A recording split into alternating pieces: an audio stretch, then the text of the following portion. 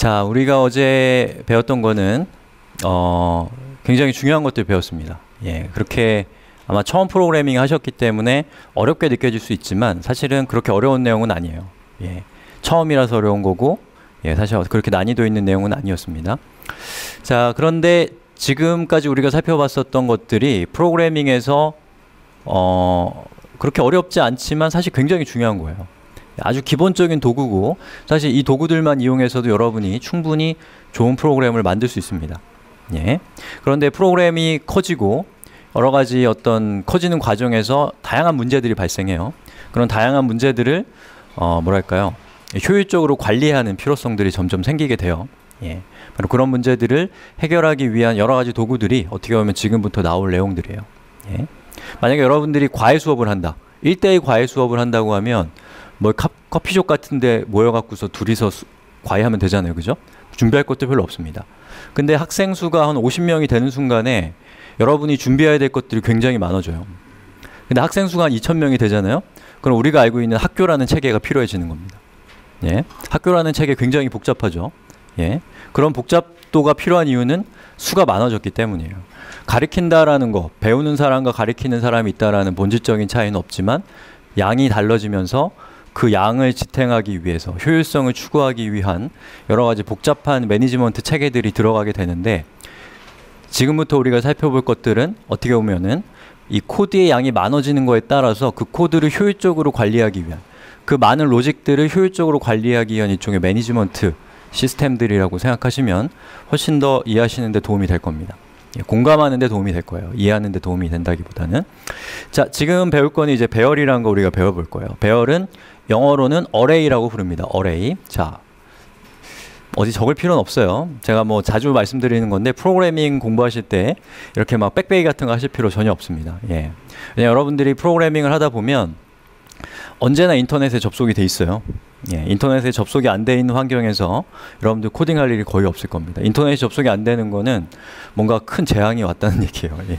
안 좋은 상황이에요. 여러분들 코딩할 시간 없을 거예요. 그런 상황에는. 그렇기 때문에 언제나 우리는 우리가 검색할 수 있는 그런 환경에서 코딩을 하기 때문에 계속 보면서 하는 거예요. 예. 그러다 보면은 자주 찾아보는 거는 이제 머릿속에 암기가 되니까 이제 찾아볼 필요가 없어지는 거고 자주 안 찾아보는 거는 불필요한 정보니까 기억에서 사라지는 거죠. 그러면 결과적으로 여러분들한테 최적화된 사전이 만들어집니다.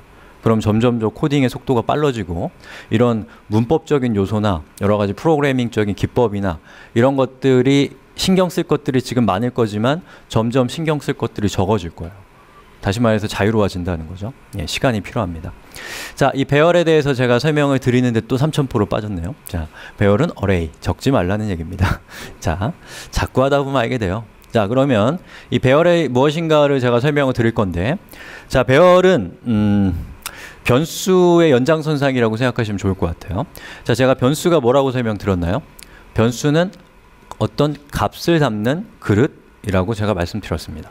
정확하게는 그릇이라기보다는 가리키는 거라고 볼 수 있는데 뭐 우리한테는 그렇게까지 할 필요는 없어요. 자, 그래서 이 변수 에는 하나의 값을 담을 수 있습니다. a는 1, a는 hello world. 어때요? 단 하나의 값만을 변수에 담는 거죠? 맞아요? 예. 자, 그게 기본적으로 변수입니다. 그런데 지금은 여러분들이 그 필요성을 공감하기는 쉽지 않지만 뒤에서 살펴볼 건데 경우에 따라서는 하나의 변수 안에 연관되어 있는 여러 개의 값을 담아야 될 때가 있어요. 예. 제가 비유를 한번 해볼게요. 음, 뭐 철수라고 할게요. 여기 계신 분이 진짜 철수시면 제가 신기가 있는 거죠. 앞에 계신 분이 철수예요. 그러면 이분이 철수는 이분이다라고 하면 철수라는 변수에다가 이분이라는 상수를 대입한 거라고 할 수가 있습니다. 예, 뭐 굳이 그렇게 얘기할 수 있는 거죠. 자, 그런데 그렇게 자, 철수보다 더 좋은 다른 걸로 할게요. 반장. 이분이 반장님이세요. 제 앞에 있다는 이유로. 자, 반장님이신데 반장은 이분이에요. 그럼 반장이란 변수에 이분이 할당된 거죠. 그죠? 그럼 제가 이 교실에 선생님이 들어오면 반장이라고 하면 이분이 예라고 대답하겠죠. 선생님이 바뀌었어요. 어떤 선생님이 오시건 간에 반장이 누군지 찾을 필요가 없습니다. 반장이라고 부르면 이분이 예라고 대답할 거죠. 그죠? 예. 자, 그런 게 이제 우리가 변수를 프로그램에서 사용하는 이유를 현실에서 굳이 찾아보자면 그렇다는 거예요. 자, 이거 비유입니다. 비유가 더 헷갈리게 한다면 비유는 버리세요. 자, 그런데 이렇게도 하지만 그런 식으로도 우리가 변수를 운영하지만 실제로 우리 반이 1반이라고 칠게요. 1반. 자, 그러면 1반 안에 속해 있는 여러분들. 예. 여러분들을 제가 포괄적으로 또는 전체적으로 관리할 때 사용되는 것이 바로 일반이라는 거예요. 그럼 어떤 일이 일어날 수 있냐? 일반 학생들 다 나오세요. 또는 일반 학생들 상담 받으러 오세요. 일반 학생들 주사 맞으러 오세요. 라고 하면 제가 여기 있는 분 한 명 한 명 호명하지 않아도 여러분들 전체가 주사를 맞으러 가겠죠. 자, 그런 일이 우리 현실에서 있죠? 바로 그 현실에서 있는 일과 똑같은 일이 이 프로그래밍에서 배열이라고 할 수 있어요. 자, 근데 이건 비유기 때문에 빨리 코드로 넘어가야 됩니다. 안 그러면 제가 얘기하는 건 다른 걸 생각할 가능성이 되게 커요. 자, 아무튼 그게 배열이라고 일단은 생각해 두세요. 일종의 클래스 아닙니다. 삭제. 지금 한 얘기. 자, 배열을 일단 만들어 봅시다. 배열을 만들고 그 배열을 사용하는 법은 뒤에서 살펴볼 겁니다. 자, 배열을 만들 때는 이렇게 하시면 돼요. 잠깐만요.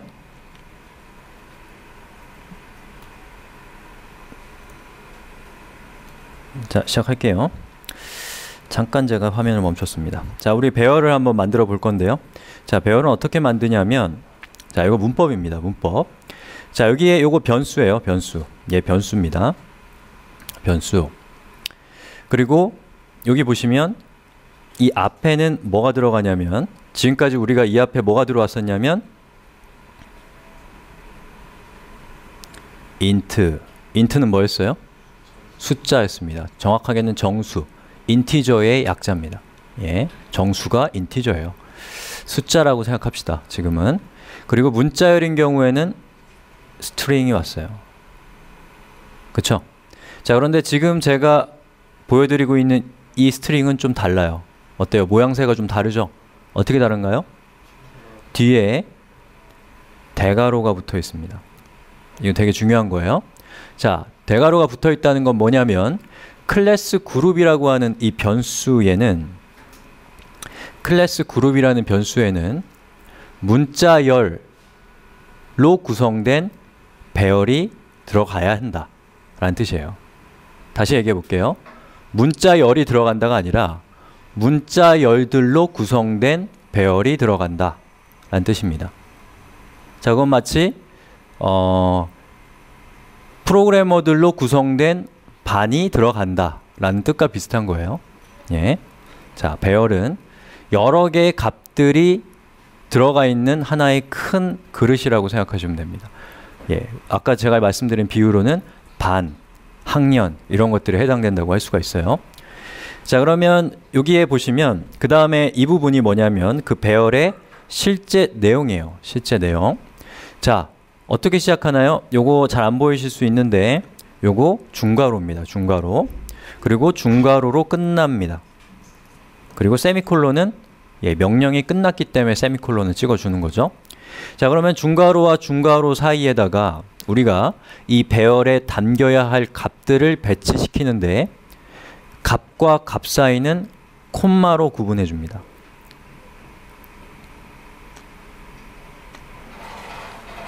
예. 그리고 아까 제가 뭐라고 했어요? 이 배열은 여기 있는 이 배열은 문자열로 구성되어 있다고 했죠. 그렇기 때문에 여기 있는 각각의 값들은 자 뭘로 감싸져 있어요? 큰 따옴표로 감싸져 있는 문자열이라는 걸 알 수가 있어요. 만약에 여기에다가 여러분들이 얘가 아니라 숫자 1을 넣거나 2를 넣거나 불리언을 넣게 되면 에러가 납니다. 자바는 거절해요. 요거는 자바가 갖고 있는 특징 중에 하나입니다. 여러분들이 PHP JavaScript를 쓴다면 don't care예요. 뭘 넣건 상관하지 않습니다. 예. 자. 자. 지금 한참 졸릴 땐 거 알아요. 근데 중요한 거라서 조시면 안 돼요. 아셨죠? 자. 이해하셨어요? 질문 있나요? 이거 되게 중요한 내용입니다. 자, 이런 것들이 다 일종의 문법의 영문법 같은 겁니다. 영문과 약속돼 있는 거예요. 이거 무슨 과학의 법칙에 따라 만들어진 게 아니에요. 그냥 이런 기호는 이런 뜻으로 쓰자라는 약속이에요. 그러니까 조금 지루하더라도 문법을 익히는 수밖에 없긴 해요. 예. 그렇다고 막 빽빽이 하지 마세요. 빽빽이는 그 일을 싫어하게 하는 지름길입니다. 자, 됐죠? 다시 한번 제가 정리해 드릴게요. 자, 여기에 class group이라는 변수에다가 우리가 배열을 담을 건데 배열을 담을 건데 그 배열은 string으로 이루어져 있다라는 뜻입니다. 예. 자, 그리고 배열을 시작할 때는 중괄호로 시작하고 그리고 값과 값 사이는 콤마로 구분하고 그리고 우리가 앞에서 이렇게 얘기해 준 것처럼 문자열만을 담을 수 있는 배열이기 때문에 보시는 것처럼 문자열만이 들어가고 만약에 여기에 문자열이 아니라 다른 게 들어간다면 에러가 딱 날 거예요. 예. 그래서 여기 있는 클래스 그룹이라고 하는 저 변수 안에 있는 배열에는 반드시 문자열이 들어가 있다라는 것을 자바라는 언어가 우리한테 개발자한테 개런티를 해주는 거예요. 아시겠어요? 예, 이걸 불편하다고 생각하시면 손해예요. 그게 아니라 자바가 제공하는 아주 엄격한 기능, 서비스라고 생각하시면 훨씬 더 예, 마음이 더 느긋해질 거예요. 안 그러면 되게 짜증나고 화가 날 수 있어요. 기존의 언어들을 쓰면. 그러면 자바는 다른 언어들과는 다른 언어들처럼 좀 자유롭게 못하냐? 할 수 있습니다. 근데 배열로는 못하고 나중에 여러분이 collection framework라는 것으로 들어가 보시면 그쪽에서 그런 기능들을 제공할 겁니다. 자, 넘어갈게요. 자, 그러면 지금 제가 뭘 한 거냐면 이 배열 비유하자면 이 교실 안에 학생들을 세팅한 거예요. 여기 있는 이거는. 자, 비유가 이해 가세요? 자, 그러면 그 학생들을 세팅을 했으면 그 다음에 필요한 건 뭘까요? 학생들을 호명하는 게 필요하겠죠. 그래서 우리가 학교에서 뭐예요? 선생님이 딱 들어와서 아이들 이름을 잘 모르시니까 뭘 하나요? 야 27번 책 읽어 이러잖아요. 야 3번 와서 문제 풀어. 그리고 막 랜덤하게 숙제했는지 조사하죠. 자 그때 사용하는 게 숫자잖아요, 그죠? 자그 숫자를 이용을 합니다. 자 여기 보시면 클래스 그룹이라고 제가 이렇게 적어놨어요. 자 이 클래스 그룹은 뭐예요? 이 위에서 제가 정의한 음, 화면을 좀 확대할게요. 아니 너무 못생겨 보이네요. 색깔 이렇게 하니까 그냥 이걸 키우겠습니다. 자 지금 제가 그냥 설명을 드리지만 여러분들이 하나하나 실행하면서 어, 실습해 보시면 돼요. 제가 그냥 설명 드리는 거예요. 자, 자 위에서 우리가 배열을 선언했습니다. 클래스 그룹이라고 하는 변수에는 배열이 담겼다. 라는 뜻이고 그 배열의 실제 내용은 여기 있는 이것들입니다. 그렇죠? 자 그러면 우리가 배열에다가 값을 담았어요. 그러면 담기만 하면 되나요? 값을 빼올 수 있어야죠. 그렇죠? 그럼 값을 빼오는 방법을 설명드리는 거예요. 자 그럼 어떻게 하면 값을 빼올 수 있냐면 자 보시는 것처럼 클래스 그룹이라고 하는 배열이 담겨 있는 변수 이름 뒤에다가 대괄호 로 시작해서 대괄호로 끝나는 기호를 사용을 하고 숫자 0을 주게 되면 이 숫자 0은 무엇을 뜻하냐면 첫 번째 값인 최진역을 의미하게 됩니다. 그래서 얘를 실행하게 되면 최진역이 출력될 거예요. 자, 실행 안 해봐도 되겠죠? 예. 자, 그 다음에 1을 넣게 되면 뭐가 될까요? 최유빈이 들어가요. 제 조카들이에요. 자, 2를 놓으면 한이람이 나오고 아 얘는 제 조카가 아니네요. 자, 3을 넣으면 제가 나옵니다. 아시겠죠? 자, 그래서 여기 있는 이 각각의 값들을 빼오는 방법은 변수 이름 뒤에다가 대괄호를 쓰고 대괄호를 닫고 여기에다가 그 값이 저장되어 있는 위치 0, 1, 2, 3 요 값을 여기다가 넣어주게 되면 그 위치에 해당되는 값을 가져오게 된다 라는 거예요 아셨죠? 자 이해 가세요? 예. 자 피드백 좀 주세요 예. 이런 거 있잖아요 되게 좀아 이거, 이거 이해 못하면 이렇게 이렇게 절레절레 해주시면 제가 한 번 더 설명드리죠 예. 네 조금 영혼을 담으셔서. 자.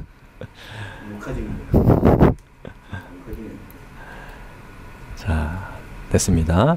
자, 그럼 값을 담는 법도 알아냈고, 값을 꺼내오는 방법도 우리가 살펴봤습니다. 많이 왔죠?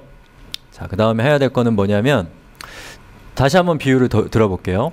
자, 선생님이 교실에 와서 어, 학생들의 일단 학생의 학생들 세팅하는 거는 배열을 만드는 것 그리고 학생들 한명 한 명 숫자를 부르는 거는 그 배열 뒤에다가 숫자를 붙이는 거고 그 다음에 또 필요한 게 뭐냐면 그 반의 총원이 몇 명인지를 알, 알아야 될 때가 있어요. 뭐 출석을 부른다거나 이런 경우에 총원이 몇 명인지 알 필요가 있잖아요. 그쵸? 그때 사용할 수 있는 방법이 뭐냐? 바로 배열의 이름, 배열이 담겨 있는 변수 점 랭스라고 적어 주시면 됩니다. 자, 이거 사실 문법이에요. 근데 문법을 아직 안 배웠기 때문에 그냥 여러분들 기계적으로 배열의 이름 뒤에다가 점 랭스를 하면 그 배열에 담겨 있는 값들의 수를 알 수 있구나라고 생각하시면 됩니다. 정확하게는 담겨 있는 값들의 수가 아니라 그 교실의 좌석수예요. 그거는 조금 이따가 제가 다시 짚어드릴 기회가 있을 겁니다. 자, 뭔지 대충 아시겠죠? 자, 그럼 한번 이 코드를 제가 한번 실행을 직접 한번 시켜보겠습니다.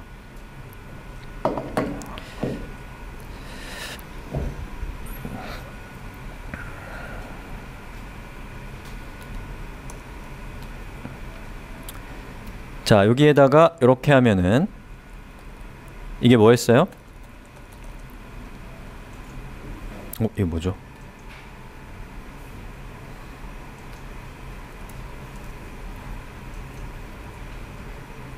이거 이클립스가 버전업 되면서 제가 모르는 기능이 뛰쳐나왔어요. 이거 어떻게 해야 되지? 자 이렇게 해서 보시는 것처럼 배열을 제가 정의를 했습니다. 예. 그러면 이 안에서 제가 만약에 첫 번째, 두 번째 있는 최유빈이라고 하는 두 번째 저장되어 있는 값을 가져오고 싶다 라고 하면 어떻게 하면 되냐면 시스템 out print ln 클래스 그룹 그리고 대괄호 그리고 두 번째죠 자 프로그래밍에서는 숫자를 0부터 카운팅합니다 0, 1, 2, 3, 4, 5예요. 예. 자, 그래서 여기다가 최진혁은 첫 번째는 0, 두 번째는 1입니다. 자, 그래서 1이라고 하고 얘를 실행을 해주면 뭐가 출력이 될까요?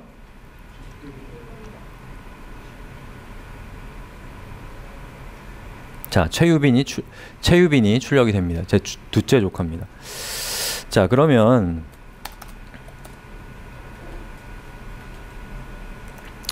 제가 여기서 이번에는 시스템 out.println에서 배열이 담겨 있는 변수인 클래스 그룹.length를 하게 되면 얘는 어떻게 되냐? 출력해 보면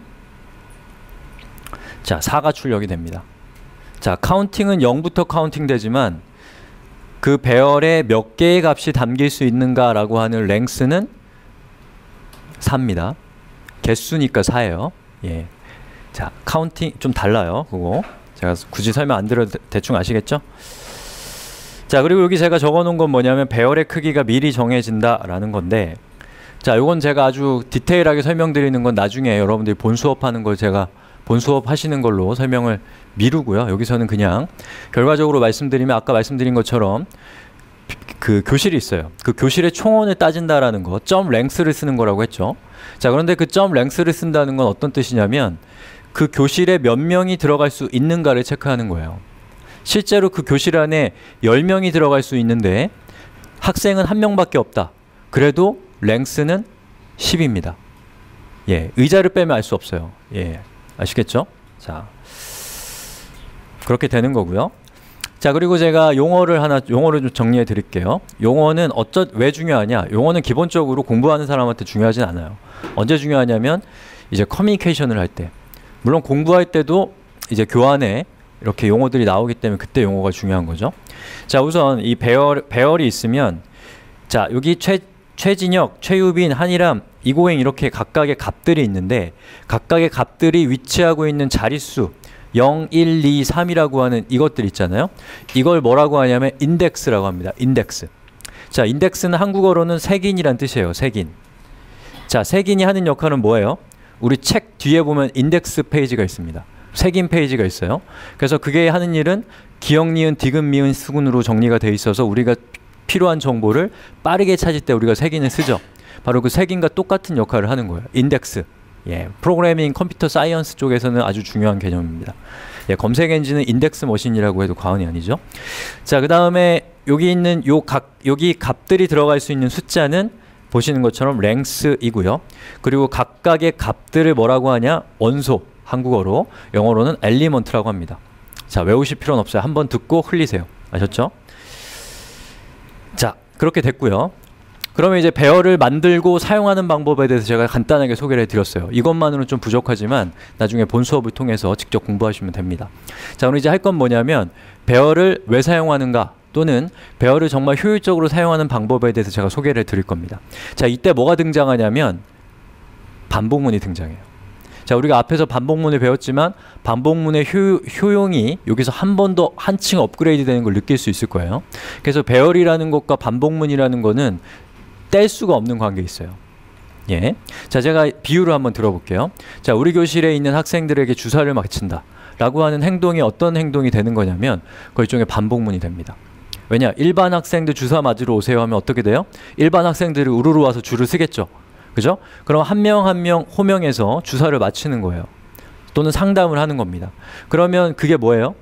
반복적인 작업이에요. 그때 반복문이 활용이 된다라는 겁니다. 자, 그런데 안타깝게도 여기서 포문을 쓰고 있네요. 제가 이걸 생각 못했네. 제가 포문을 아까 설, 그 어제 설명을 안 드렸었는데 뭐 설명을 하죠. 자, 포문 설명하겠습니다. 자, 어제 우리가 배웠던 while문에서 우리가 반복문을 10번 반복하도록 하는 방법 기억나세요? 제가 아까 살짝 보여드렸던 거 기억나시죠? 자, 그 기능을 문법적인 차원에서 수용한 거라고 보시면 돼요. While문을 문법적인 차원, while문에서 10번 카운팅하고 20번 카운팅하는 거를 문법적인 차원으로 수용한 거라고 보시면 됩니다. 자, 한번 설명을 해보죠. 자, 여기 있는 이 폼은 폼은 이 폼은도 while문과 함께 아주 중요한 반복문의 어, 문법이에요. 자, 그러면 폼은 뒤에 보시면 while문과는 다르게 예, 괄호가 오긴 하는데 괄호와 괄호 사이에는 뭐가 있어요?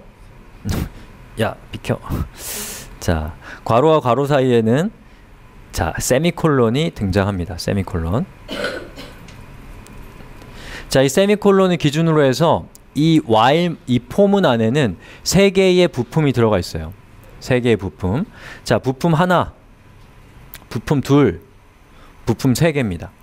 그럼 이 각각의 부품들을 조합해서 우리가 몇 번 반복할 것이냐 라는 것을 예, 우리가 코딩할 수 있는 겁니다.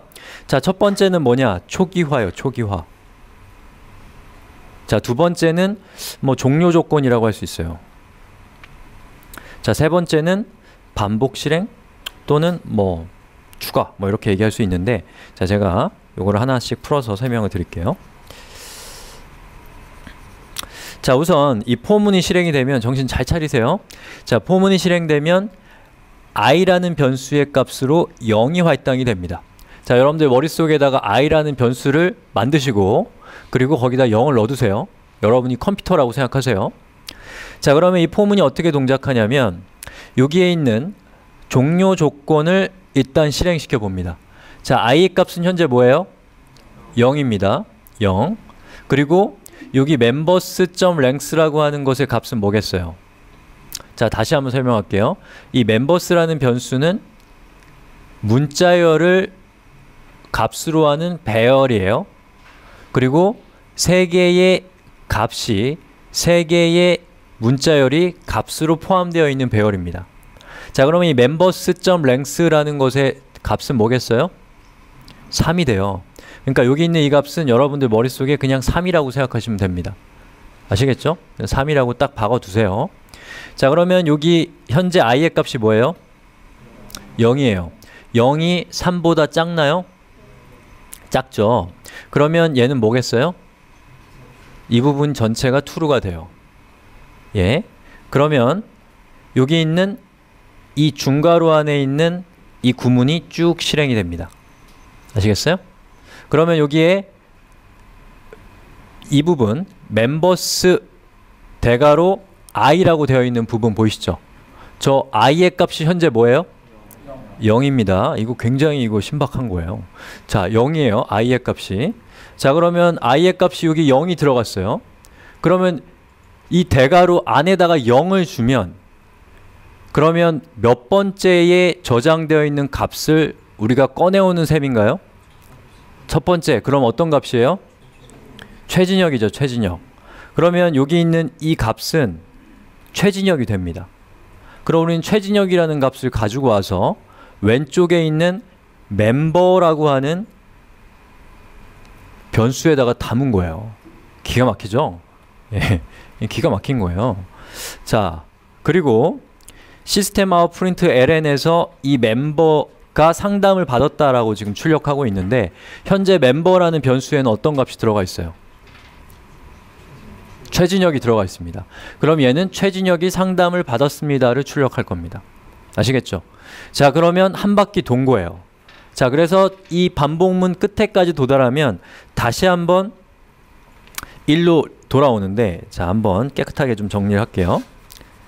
자 여기에 보시면 이번에는 얘가 실행되도록 약속되어 있습니다. 이거 약속이에요. 약속. 자 그러면 i 플러스 플러스는 얘는 뭐랑 똑같은 거냐면 i는 i 플러스 1과 정확하게 똑같은 뜻입니다. 얘를 얼마나 많이 쓰면 얼마나 귀찮으면 이거가 이거다라는 뜻이겠어요. 그죠? 그만큼 자주 쓰는 거기 때문에 개발자들이 손가락이 아프니까 예, 저걸 문법적으로 수용한 거라고 생각하시면 되, 됩니다. 반복적으로 사용되는 어떤 기법들은 결국 문법화되어 되는 거예요. 자, 그래서 여기 있는 요거는 i의 값이 현재 0이었어요. 저게 실행되면 i가 뭐겠어요? 1이 됩니다. 1이. 자, 그러면 그 다음에 뭐가 실행되냐? 바로 얘가 실행이 돼요. 자, 긴장하고 잘 들으세요. 자, 그러면 현재 i의 값이 뭐예요? 1. 그리고 얘의 값은 뭐예요? 1, 3이죠. 그러면 1이 3보다 작아요? 작죠? 그러면 통과합니다. 그럼 다시 반복이 실행이 되고 여기 값은 뭐예요? 1이죠. 그럼 여기 값은 뭐가 돼요? 예. 자, 최유빈이 됩니다. 최유빈. 그러면 멤버라는 변수의 값은 최유빈이 되면서 최유빈이 상담을 받은 거예요. 자, 그렇게 해서 그 다음에 다시 돌아가죠. 그러면 여기 그 다음에는 또 어떻게 돼요? i 값이 뭐가 되나요? 얘를 실행하면 1이었던 게 뭐가 돼요? 2가 됩니다. 자 그리고 2가 3보다 작죠? 그럼 얘가 참이 되니까 여기에는 2가 들어가고 2가 들어가면 한이, 한이람이 멤버라는 변수에 저장되면서 한이람이 상담을 받았어요.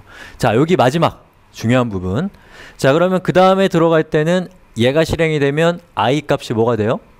3이 됩니다. 그러면 3, 3이 3보다 작나요? 아니죠. 그럼 저거는 폴스가 되면서 이, 종, 이 반복문은 여기서 종료가 되게 됩니다. 아시겠죠? 예, 이거 상당히 복잡한 내용인데 잘 따라오신 것 같아서 아주 흐뭇합니다. 자, 조, 졸리신 분 손 들어보세요. 지금 졸린 분 손 들어보세요. 자, 손 들면 잠이 깨요. 자, 잠 깨세요. 이거 중요한 거예요. 여기 중요한 부분, 아주 중요한 부분. 예, 제가 웬만하면은 조시는 거 안 건드려요. 안 중요한 부분은 왜냐면 우리는 사람이잖아요, 그죠? 우리는 서버 컴퓨터가 아니에요. 그러니까 졸릴 땐 졸아야 돼요. 예, 졸린 거는 졸음이 필요하다고 졸게 하는 거예요, 우리 몸이. 그런데 이제 제가 정말 중요할 때는 여러분들 이렇게 이렇게 제가 이렇게 한번 상기를 해 드리는 거니까 너무 부담 갖지 마시고 조세요. 예, 제가 깨워 드립니다. 자, 여기 자, 이렇게 해서 제가 지금 보여 드린 거에서 여러분들이 느끼셔야 될 게 뭐냐면 아, 반복문이라는 것과 배열이 결합되면 이 배열 안에 들어가 있는 또 배열 안에 저장되어 있는 값을 우리가 처리할 수 있구나 라는 것을 생각할 수 있는 거죠. 예. 만약에 여러분이 뭐 아주 거대한 시스템, 예를 들면 뭐 네이버나 뭐 구글이나 이런 회사에 뭐 회원 관리 시스템을 뭐 담당을 한다.